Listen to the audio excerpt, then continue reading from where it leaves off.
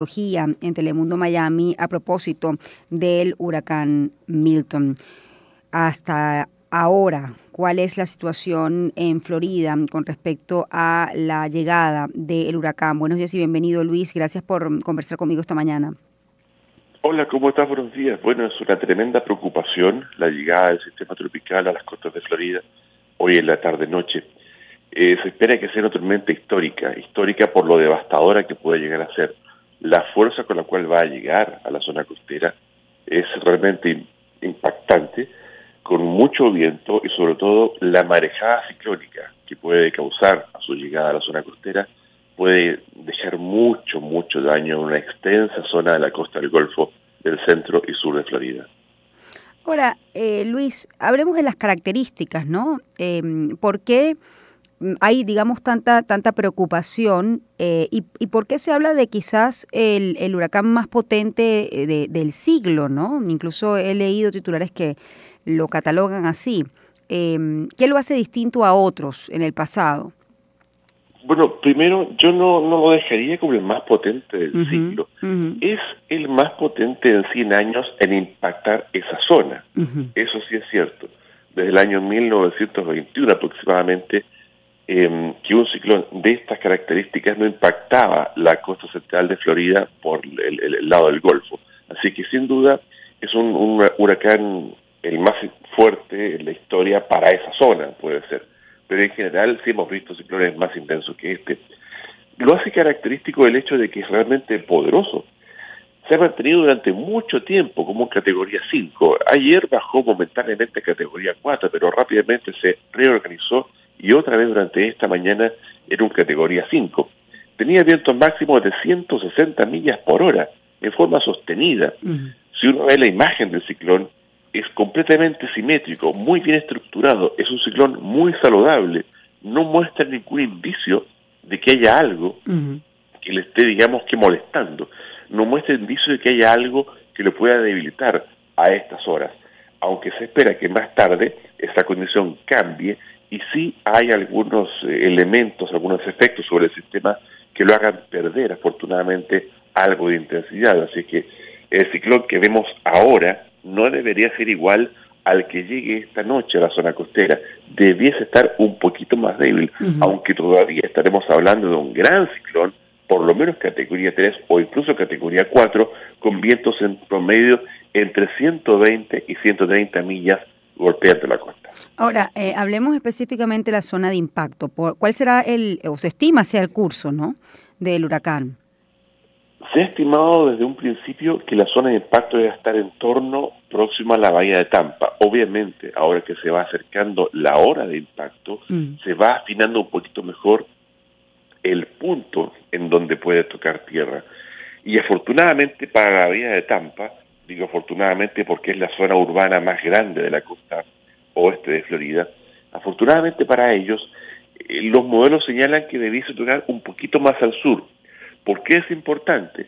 Porque la marejada ciclónica siempre es mucho más devastadora desde el punto de impacto hacia el sur. Y como ese punto de impacto estaría al sur de la bahía de Tampa, los peores efectos relacionados con marejada ciclónica no estarían justamente impactando la bahía de Tampa, o sea, no estarían impactando la zona urbana más grande de la costa oeste de Florida, pero sí, por supuesto, estarían afectando sectores como si está aquí, Sarasota, Bonita Beach, Fort Myers, zonas que hace un par de años fueron prácticamente devastadas por el huracán Ian y hace apenas dos semanas ya sintieron los efectos del paso de Helene, que aunque pasó lejos de ahí, de igual modo dejó daño importante sobre todo con la marejada ciclónica que causó en esa región. Sí. Ahora, eh, ¿cuáles han sido las indicaciones de las autoridades? Eh, entiendo que hay órdenes de evacuación. Eh, hay algo interesante y te lo pregunto más allá, digamos, de la fuente. Las órdenes de evacuación son obligatorias. Eh, y en este caso, ¿por qué la recomendación ha sido tan drástica? Es decir, ¿este huracán es potencialmente mortal para quien esté en la zona de impacto? Sin duda que sí. Primero, porque, como, como te comentaba, el viento está muy fuerte, el viento que va a llegar al borde costero es muy fuerte, y eso es capaz de empujar una gran masa de agua. Eso va a hacer que el nivel del mar suba muchísimo. se estimaba que la marejada tormenta en la zona cercana a Farsota y la bahía de Tampa podría tener entre 10 y 15 pies o incluso un poquito más en algunos puntos. Eso, en promedio, supera la altura de muchas comunidades que están cerca del borde costero. Por ejemplo, buena parte de la ciudad de Tampa, de la zona urbana de Tampa, está en promedio a unos 10 pies aproximadamente de altura. Eso es poquito más de 3 metros. Se estimaba que la marea de tormenta podría estar entre 3 y 5 metros. Mm. Vale decir, la marejada podría ser estar por encima del nivel que tiene toda la ciudad y por eso podría inundar una gran mm. extensión. Ahora, más al sur, la comunidad más grande, como les comentaba, es Tampa, obviamente, pero más al sur hay muchos pueblos pequeñitos costeros, donde la gente tiene su casa, mucha gente jubilada se va a vivir ahí, por supuesto es un sueño vivir ahí, es precioso, pero cuando viene uno de estos sistemas, en zonas tan bajas, y las casitas están tan pegadas a la costa, el mar, la, marea, sube tanto que tapa todo eso. Mm. Y por supuesto, si tú estás ahí, el agua te va a llevar, o por lo menos te vas a ahogar. Es sumamente peligroso. por eso están en vigencia esas órdenes de evacuación. Sí, incluso no solamente en casa, sino la alerta también ha sido para personas que viven en edificios, en la, en, la parte más alta. La orden también es eh, evacuar. De hecho, ayer el presidente Joe Biden eh, fue enfático, ¿no? El momento de evacuar es ahora, porque era cuestión de vida o muerte. Podría ser la peor tormenta que haya visto Estados Unidos en 100 años, lo ha dicho el presidente, ¿no? Poco para entender la magnitud, sí. Además de la devastación que va a dejar esta tormenta, si tú vives en un edificio, obviamente vas a tener agua por todas partes.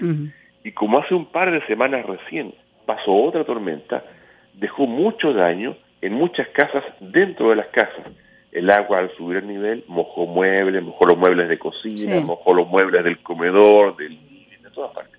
Toda la gente en un proceso normal saca esos muebles, saca esos, esos restos a la calle y luego pasan camiones que se los llevan.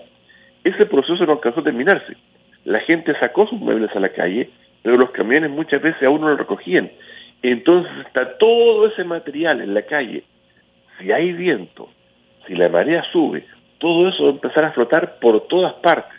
Y una vez que toda la tormenta esta pase, van a ser verdaderas barricadas que van a quedar en las calles, que si tú estás en esa zona, obviamente no vas a poder salir o no vas a poder simplemente ir a buscar provisiones, comida, agua.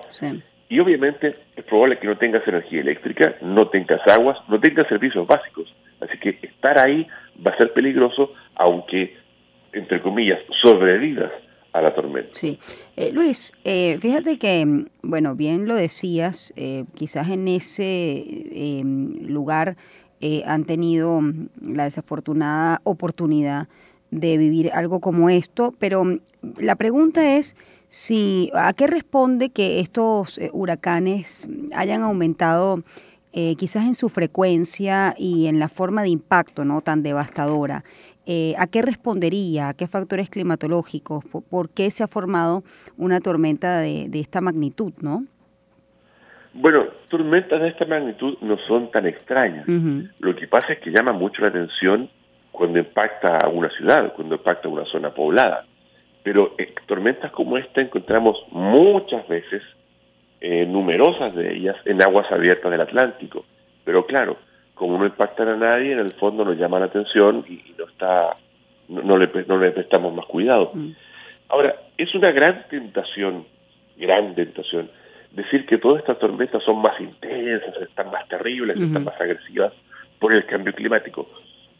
Yo pienso que el cambio climático es real, que está sucediendo, que nos va a afectar, pero también pienso que hay que ser más cuidadoso de asociar cualquier rareza que vemos por ahí al cambio climático directamente. Pienso que todo esto debe ser estudiado y realizado con más cuidado para verificar realmente si esa es la razón de que tengamos este tipo de tormenta. Sí, Luis, aquí preguntan, eh, ¿con qué fuerza se pronostica que llegue, por ejemplo, a Kissimmee, ¿no? cerca de Orlando, bueno, en Orlando? No se descarta que en la zona de Orlando llegue como huracán categoría 2. Eso es con vientos aproximadamente en torno a 105 a 110 millas por hora. Es muy fuerte. Eso podría causar bastante daño en la zona de, Orlando. Daño por el viento y daño por la lluvia que puede caer en esa área.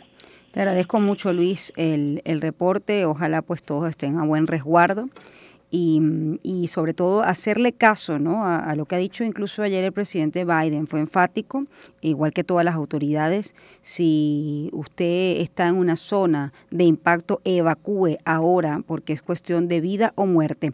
Te agradezco mucho, Luis. Luis ha sido mi invitado a esta hora. Estamos